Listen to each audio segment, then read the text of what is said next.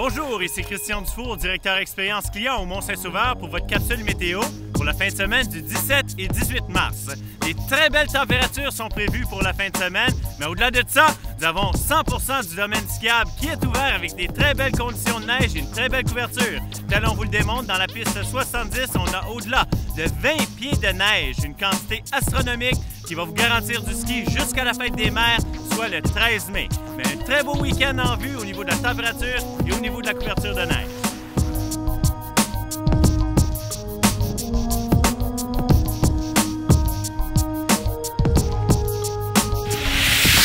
Alors, au-delà du domaine skiable, c'est des très belles conditions climatiques qui nous attendent pour la fin de semaine. Pour la journée de samedi, un mercure de plus 9 degrés Celsius avec du beau soleil. Avec le facteur soleil, le mercure devrait monter à plus 13. Pour la journée de dimanche, c'est encore du soleil, quelques nuages cette fois-ci, mais un maximum de plus 17. Avec le facteur soleil, la température devrait monter bien au-delà des 20 degrés Celsius. Des très belles conditions climatiques pour la pratique du ski et prendre du beau soleil.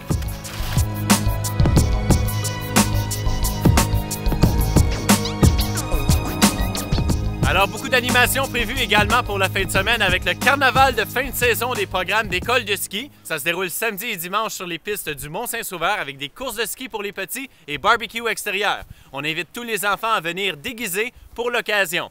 Du côté du Mont-Avila, il y a un carnaval aux glissades sur tube.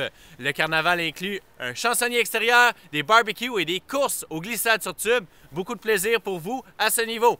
Venez vous amuser avec nous alors qu'on a des quantités astronomiques de neige. 100% du domaine skiable ouvert. Bon ski!